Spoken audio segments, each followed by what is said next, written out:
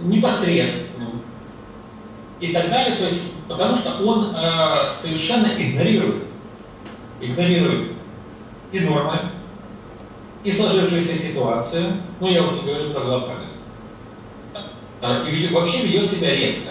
Почему резко? Потому что э,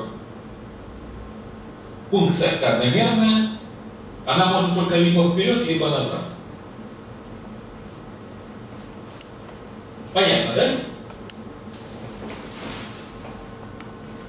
А,